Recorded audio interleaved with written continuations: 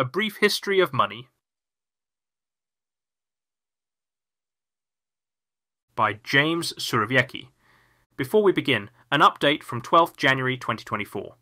In Spectrum's 2012 feature story below, James Surowiecki called money in tribal economies a social lubricant. Or, as the anthropologist David Graeber puts it in his 2011 book, Debt. The first 5,000 years' money helped to define the structure of social relations. The view of money as a social structural agent and social lubricant has made a comeback in recent years too. In November, in an interview with Rachel O'Dwyer, author of Tokens, The Future of Money in the Age of the Platform, she noted that digital mediums of exchange are increasingly doing double duty for the purposes that fit the classical definition of money and for something more, as she puts it. O'Dwyer noted that people are also using digital monies to reward each other for socially valuable content online. And this is something that really fascinates me about these tokens, she said. They're money, or money ish, but they're also a kind of social currency or social media. Meanwhile, technologies like the blockchain, stored value cards, and digital funds transfer services like Venmo came along and proved Kublai Khan's theory, as noted below, that that what matters about money is not what it looks like, or even what it's backed by, but whether people believe in it enough to use it. Shadow economies have sprung up across the globe that sidestep fiat currency like the US dollar, the Chinese yuan, and the EU's euro multinational corporate giants like Meta, corporate parent of Facebook, are looking to establish their own currencies alongside government backed money. Facebook failed with its Diem cryptocurrency coin, but another tech giant might soon pull it off. Last month, as Spectrum reported, Bitcoin's US $3 trillion worth of transactions in 2021 more than doubles what American Express processed people are receiving the equivalent of salary payments in the form of Amazon gift cards. And as O'Dwyer notes in Spectrum's November interview with her, EBT cards are taking the place of food stamps. Elsewhere, people are using the stored value on digital phone cards administered by wireless carriers as replacements for cash or debit cards. This enables them to carry out transactions even if they don't have bank accounts and provides a measure of security against losses from pickpockets or armed robbers. E Spectrum. Original article from 30 May 2012 follows In the 13th century, the Chinese Emperor Kublai Khan embarked on a bold experiment.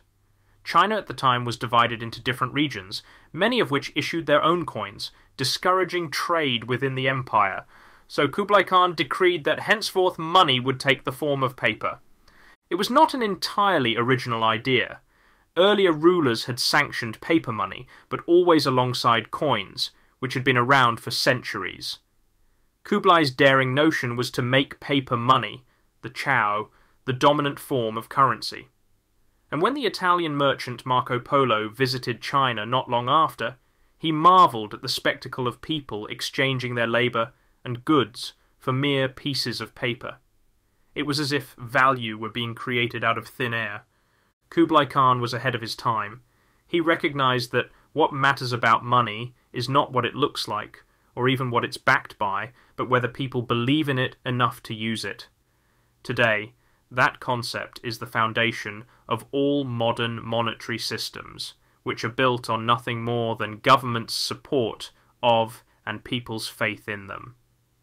Money is, in other words, a complete abstraction, one that we are all intimately familiar with, but whose growing complexity defies our comprehension. Today, many people long for simpler times. It's a natural reaction to a world in which money is becoming not just more abstract, but more digital and virtual as well, in which sophisticated computer algorithms execute microsecond market transactions with no human intervention at all, in which below the radar economies are springing up around their own alternative currencies, and in which global financial crises are brought on for reasons difficult to pass without a PhD. Back in the day, the thinking goes money stood for something. Gold doubloons and cowrie shells had real value, and so they didn't need a government to stand behind them. In fact, though, money has never been that simple, and while its uses and meanings have shifted and evolved throughout history, the fact that it is no longer anchored to any one substance is actually a good thing. Here's why. Let's start with what money is used for. Modern economists typically define it by the three roles it plays in an economy. It's a store of value, meaning that money allows you to defer consumption until a later date. It's a unit of account, meaning that it allows you to assign a value to different goods without having to compare them. So instead of saying that a Rolex watch is worth six cows, you can just say it, or the cows cost ten dollars. And it's a medium of exchange, an easy and efficient way for you and me and others to trade goods and services with one another. All of these rollies have to do with buying and selling, and that's how the modern world thinks of money, so much so that it seems peculiar to conceive of money in any other way. Yet in tribal and other primitive economies, money served a very different purpose. Less a store of value or medium of exchange, much more a social lubricant. As the anthropologist David Graeber puts it in his recent book, Debt, the first 5,000 years, Melville House, 2011. Money in those societies was a way to arrange marriages, establish the paternity of children, head off feuds, console mourners at funerals, seek forgiveness in the case of crimes, negotiate treaties, acquire followers. Money, then, was not for buying and selling stuff, but for helping to define the structure of social relations. How, then, did money become the basis of trade? By the time money makes its first appearance in written records in Mesopotamia during the third millennium BCE, that society already had a sophisticated financial structure in place, and merchants were using silver as a standard of value to balance their accounts. But cash was still not widely used. It's really in the 7th century BCE when the small kingdom of Lydia introduced the world's first standardized metal coins that you start to see money being used in a recognizable way. Located in what is now Turkey, Lydia sat on the cusp between the Mediterranean and the Near East, and commerce with foreign travelers was common. And that, it turns out, is just the kind of situation in which money is quite useful. To understand why, imagine doing a trade in the absence of money. That is, through barter. Let's leave aside the fact that no society has ever relied solely or even largely on barter. It's still an instructive concept. The chief problem with barter is what economist William Stanley Jevons called the double coincidence of wants. Say you have a bunch of bananas and would like a pair of shoes. It's not enough to find someone who has some shoes or someone who wants some bananas. To make the trade, you need to find someone who has shoes, he's willing to trade, and wants bananas. That's a tough task. With a common currency, though, the task becomes easy. You just sell your bananas to someone in exchange for money, with which you then buy shoes from someone else. And if, as in Lydia, you have foreigners from whom you'd like to buy or to whom you'd like to sell, having a common medium of exchange is obviously valuable. That is, Money is especially useful when dealing with people you don't know and may never see again. The Lydian system's breakthrough was the standardized metal coin. Made of a gold-silver alloy called electrum, one coin was exactly like another, unlike, say, cattle. Also, unlike cattle, the coins didn't age or die or otherwise change over time, and they were much easier to carry around. Other kingdoms followed Lydia's example, and coins became ubiquitous throughout the Mediterranean, with kingdoms stamping their insignia on the coins they minted. This had a dual effect. It facilitated the flow of trade, and it established the authority of the state. Modern governments still like to place their stamp upon money, and not just on bills and coins.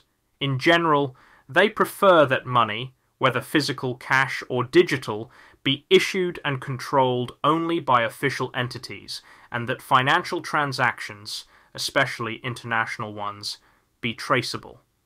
And so the recent rise of an alternative currency like Bitcoin, see the crypto anarchists' answer to cash in this issue, which is based on a cryptographic code that allows for anonymous transactions and that so far has proved to be uncrackable, is the kind of thing that tends to make governments very unhappy. The spread of money throughout the Mediterranean didn't mean that it was universally used. Far from it. Most people were still subsistence farmers and existed largely outside the money economy. But as money became more common, it encouraged the spread of markets. This, in fact, is one of the enduring lessons of history. Once even a small part of your economy is taken over by markets and money, they tend to colonize the rest of the economy, gradually forcing out barter, feudalism, and other economic arrangements.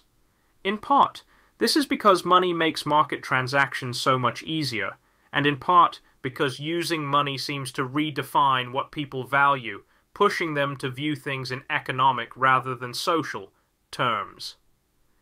Governments were quick to embrace hard currency because it facilitated the collection of taxes and the building of military forces. In the 3rd century BCE, with the rise of Rome, money became an important tool for unifying and expanding the empire, reducing the costs of trade, and funding the armies that kept the emperors in power. The decline of the Roman Empire, starting in the 3rd century CE, saw a decline in the use of money as well, at least in the West. Parts of the former empire, like Britain, simply stopped using coins.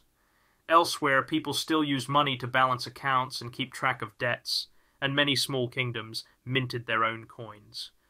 But in general, the circulation of money became less central, as cities shrank in size and commerce dwindled.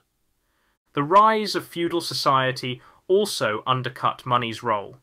The basic relationship between master and vassal was mediated not by payment for services rendered, but rather by an oath of loyalty and a promise of support. Land was not bought and sold, it belonged ultimately to the king, who granted use of the land to his lords, who in turn provided plots of land to their vassals. And feudalism discouraged trade. A feudal estate, or fief, was often a closed community that aimed to be self sufficient. In such a setting, money had little use, Money's decline in feudal times is worth noting for what it reveals about money's essential nature. For one thing, money is impersonal. With it, you can cut a deal with, say, a guy named Jeff Bezos, whom you don't know and will probably never meet. And that's okay. As long as your money and his products are good, you two can do business. Similarly, money fosters a curious kind of equality. As long as you have sufficient cash, all doors are open to you.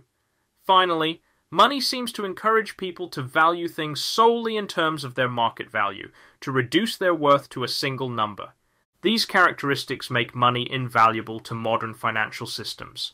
They encourage trade and the division of labor, they reduce transaction costs, that is, the cost incurred in executing an economic exchange, and they make economies more efficient and productive.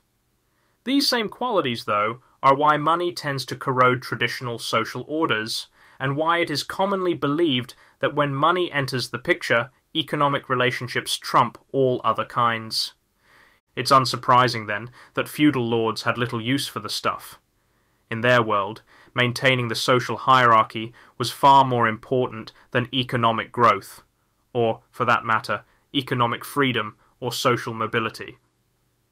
The widespread use of money, with its impersonal transactions, its equalizing effect, and its calculated values would have upended that order.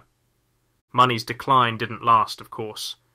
By the 12th century, even as the Chinese were experimenting with paper currency, Europeans began to embrace a new view of money. Instead of being something to hoard or spend, money became something to invest, to be put to work in order to make more money. This idea came with a renewed interest in commerce. Trade fairs sprang up across Europe. frequented by a community of merchants who had begun to do business across the continent. This period also saw the emergence of a banking industry in the city states of Italy.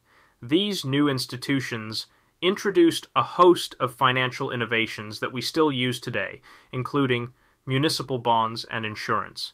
The banks fostered the use of credit and debt, which became ever more central to the economy as kings borrowed to finance their military adventures and merchants borrowed to fund their long range trades. The invention of the Bill of Exchange, which laid the groundwork for the emergence of paper money in the West, also occurred during this period.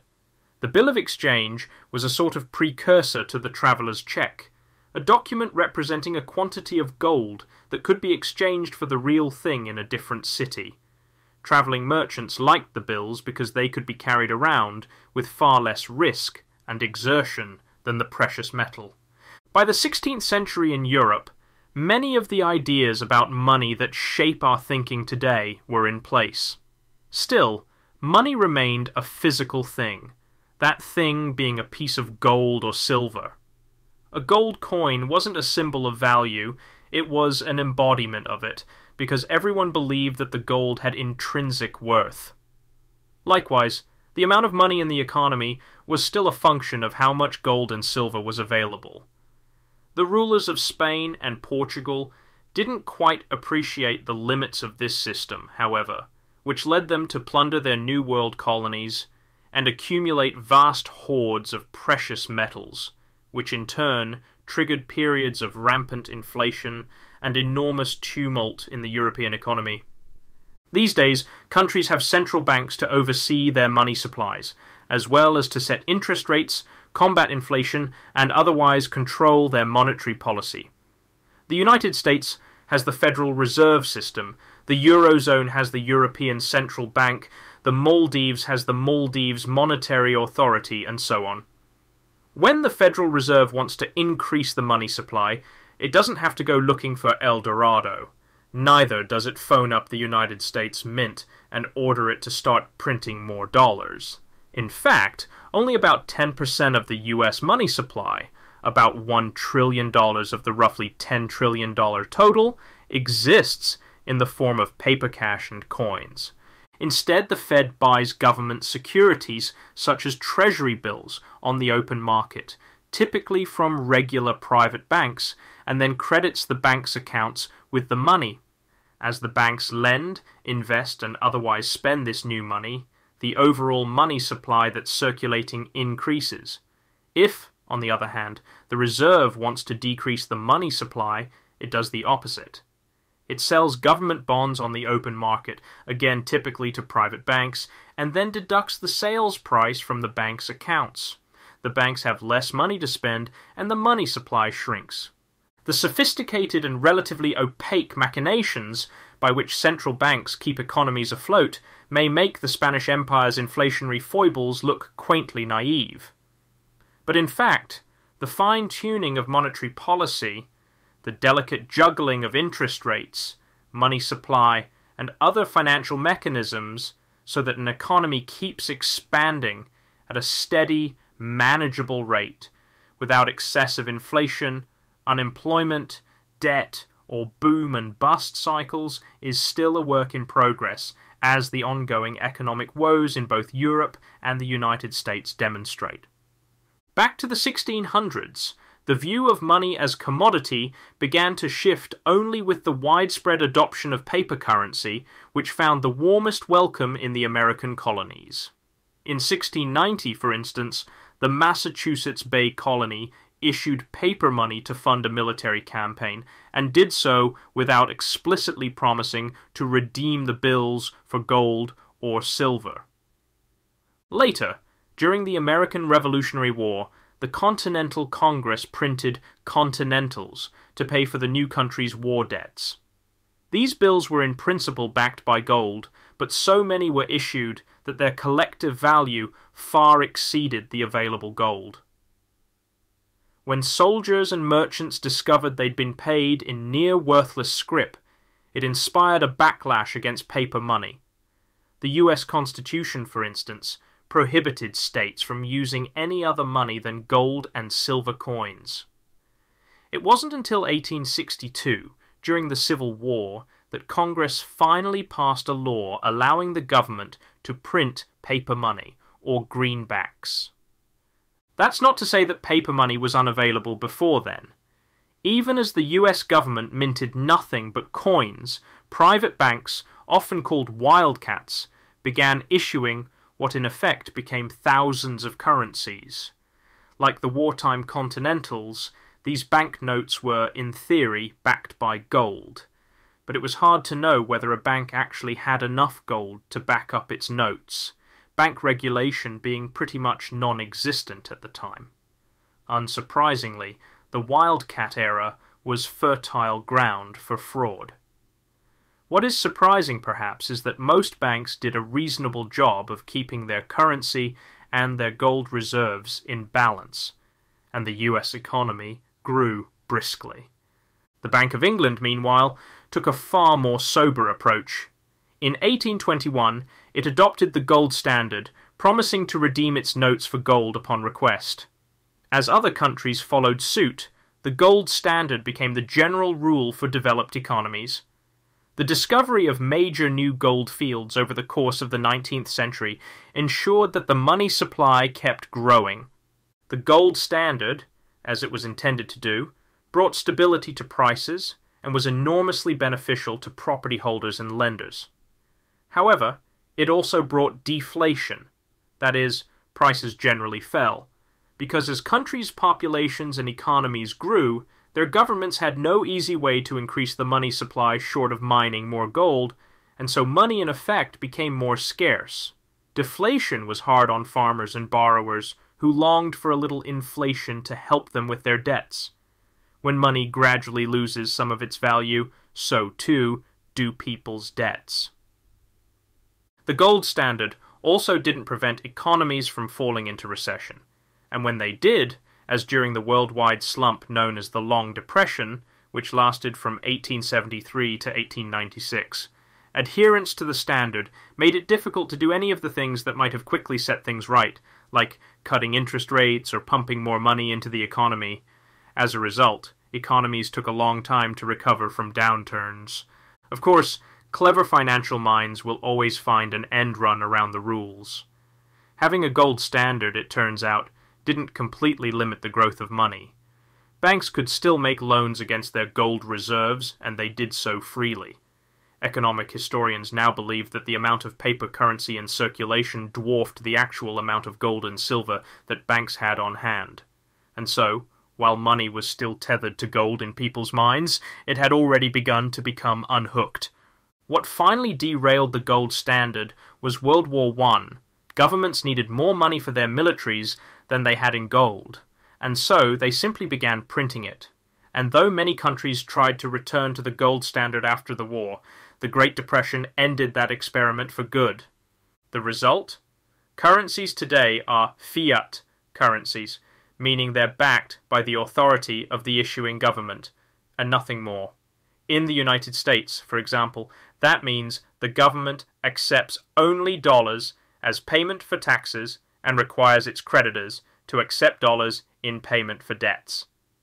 But if people were to lose faith in the dollar and stop accepting it in everyday transactions, it would eventually become worthless.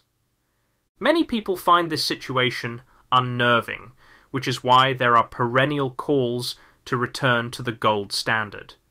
The reliance on fiat money, we're told, gives too much power to the government, which can recklessly print as much money as it wants. Yet the truth is that this has always been possible. Even with the gold standard, governments revalued their currencies from time to time, in effect dictating a new price for gold, or they ignored the standard when it proved too limiting, as during the First World War. What's more, the notion that gold is somehow more real than paper is, well, a mirage. Gold is valuable because we've collectively decided that it's valuable and that we'll accept goods and services in exchange for it. And that's no different, ultimately, from our collective decision that colourful rectangles of paper are valuable and that we'll accept goods and services in exchange for them. The reality is that it's a good thing that we've moved away from the gold standard and the idea that money needs to be tied to something else. In the first place, it's honest. As soon as we left behind the habit of trading cattle for barley, both of which had intrinsic value, money became a social convention, and paper money just makes that convention obvious. These days, instead of worrying about where we're going to find more gold and silver, we can focus on how to wisely manage the money supply for the greater good. Second, and more important, abandoning the gold standard has given central banks much more flexibility in dealing with economic downturns. Recessions are downward spirals. Instead of spending and investing, people and businesses hold on to their cash, which shrinks overall demand, which forces businesses to cut back, which creates unemployment, which shrinks demand even more. One solution is for governments to make up the difference by spending more, but it's also important for interest rates to drop and for the money supply to increase, thereby making it easier for people to borrow money and helping overcome their reluctance to spend. Such actions are easier for the folks at the Federal Reserve and other central banks to pull off when they don't have to worry about maintaining the gold standard. And recessions have been shorter and less painful since the gold standard was abandoned. Even the most recent global downturn, severe as it was, was minor compared to the Great Depression. Of course, all this talk of central bankers tinkering with the money supply is precisely what critics of the fiat money system dread because they believe it will inevitably lead to runaway inflation. And history does show that when a government massively and carelessly expands the money supply, it ends up with hyperinflation and a worthless currency, as happened in Weimar Germany in 1923 and in Zimbabwe just a few years ago. But such episodes are rare in the past 90 years, the United States and Europe have had just one sustained bout of high inflation in the 1970s. That track record should engender some faith. On the whole, central bankers act responsibly, and healthy industrial economies aren't prone to regular inflationary spirals. But that faith is apparently hard to muster. Instead, it feels to many of us as if inflation is always about to soar out of control. This irrational fear is ultimately a legacy of the way money evolved. We cling to the belief that money needs to be backed by something solid. In that sense, we're just like Marco Polo, still a bit amazed by the thought that you can base an entire economy on little pieces of paper. And yet we do. For more than 80 years, we've been living in a world in which money can be created, in effect, out of thin air. As we've already discussed, the central banks can create money, but so can ordinary banks. When a bank makes a loan, it typically just puts the money into the borrower's bank account, whether or not it has that money on hand. Banks are allowed to lend more money than they have in their reserves.